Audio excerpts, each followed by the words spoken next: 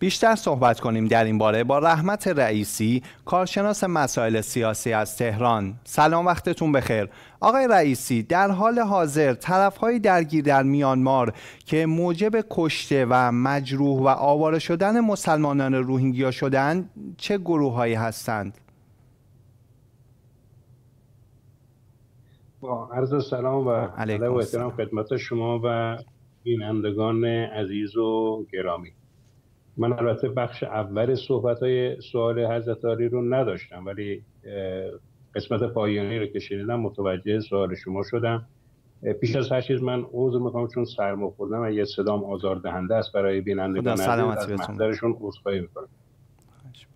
متشکرم. ابتدا من عرض کنم که ببینید اسلام در همون قرن اول هجری از طریق بازرگانان مسلمان وارد منطقه شرق آسیا از جمله میانمار امروزی میشه و اینها در همون ایالت آراکان مستقر میشن و در سواحل آراکان استقرار پیدا می‌کنن تا 1774 یک زیست بسیار مسالمت آمیز با بوداییان و گروه ها و نهله های فکری دیگر و مذاهب دیگه داشتن و هیچ مشکلی هم نداشتن. و از این سال هاست که ما درگیری اینها رو می‌بینیم تا به سال 2017 می‌رسه. در قرن اخیر از سال 2000 بعد تضییقات و فشارها علیه روهینگیا و مسلمانان زیاد میشه و در سال 2017 به اوجش می‌رسه که اون فاجعه عظیم و جنایت عظیم صورت می‌گیره که بالغ بر سی هزار مسلمان کشته میشن و بنا به آمارهای وحشتناکی که ارائه شد به 18 هزار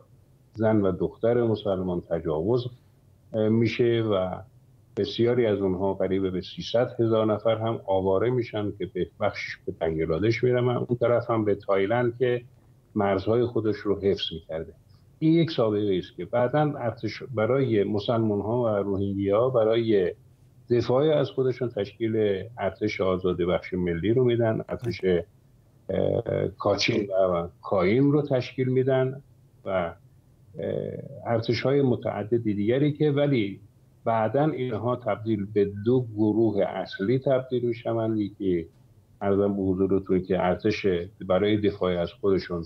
اینها این گروه ها رو تشکیل میدن که به دو ارتش ارزم به حضورتون کاچین هست ارتش آزادی بخش دموکراتیک هست که در برابر این حجم قرار می‌گیرن. بله. و برای حفظ نوامیس و دفاع از خودشون اقدام به فعالیت می‌کنن. بله در رابطه با گزارش کمیساریای عالی حقوق بشر نسبت به تهدید جدی جان مسلمانان روهینگیا در میانمار هم دیدگاه خودتون رو بیان بفرمایید. برای مسئله بسیار مهمیه که مورد اشاره شما هم قرار گرفت. درگیری بین ارتش میانبان و ارتش آراکان در کنار تنشه های بین روهینگیا و جوامع بویدی بومی ایالت راخین یک خطر بسیار جدی است که تکرار جنایت قبلی رو زنده می‌کنه. زنگ خطری است که به صدا در آمده و نباید اجازه داده بشه که اون گذشته بار تکرار بشه. با حوادث اخیر ایالت راخین بار دیگه به میدان نبردی تبدیل شده. که بازیگران متعددی در اون مشارکت دارن. زیرا شک... اون شکستی که اخیرا دولت نظامی و نظامیان این در پی درگیری های ایجاد شده متحمل گردیده تا اونجایی که حتی فرمان خروج نیروهاشو دولت نظامی از پست های نظامی مستقل در شهر میوادی اعلام کرده و فراخان داده یک موقعیت بسیار خطرناکی رو ایجاد کرده. چون شهر میوادی که مرکز راخین باشه یک مرکز تجاری بسیار مهم اساسی هست برای کشور میانمار. و این درگیری موجب این شده که موقعیت بسیار خطرناکی رو به وجود بیاره تا دوباره جان بهیر نظامیان در معرض تجاوز و خطر قرار بگیره. بله. آقای رئیسی چگونه کشورهای تاثیرگذار بر دو طرف درگیر در میانمار می توانند جهت کاهش تنش نقش آفرینی نمایند پرسش بسیار مهمیه.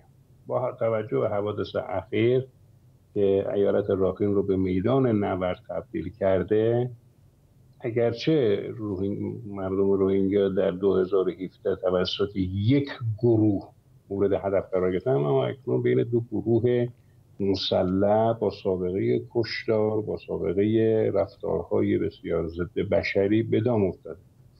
لذا بنا به اونچه که خود آقای گوترش دبیر کل محترم سازمان ملل در 2023 هم اعلام کرد این آتش بس موقتی که بینشون صورت گرفته بود بسیار شکننده بوده بله. و الان هم شاهد این شکنندگی هست لذا اینها بسیار بسیار مسئله مهمی است که باید سازمان ملل و سازمان های زیرفت جهانی نسبت به اقدام مؤثر و به موقع برای پیشگیری و از فجایعی که قبلا رخ داده دست به کار بشن بله. اون اقدامات مهمی که باید انجام بشن جلوی شعله بر شدن آتش این درگیری رو که تحقیقا بیش از هر چیز غیر نظامیان زنان کودکان و سالخوردگان رو در بر می‌گیره و اونها رو مورد اذیت و آزار شدید قرار میده و حتی جانشون رو فهر گرفت باید وارد بشن. دولت های کشورهای اسلامی موظفن با رایزنی های گسترده که با سازمان های زیرفت بین المللی می‌کنن و از اون فشاری که بر دولت نظامی میانمار باید وجود باید بیارن باید در حلقه و تنگناسازی دولت میانمار که از جمله وظایف این دولت برقراری امنیت و نظم در میان شهروندان و کشور هست. که این از بدیهیات اولیه وظایف دولت هاست. بله. باید به این وادارش بکنند گیری کنه از بروز اون حوادث تلخی که هر آن شعله برپا بله. بسیار متشکرم از شما رحمت رئیسی کارشناس مسائل سیاسی از تهران.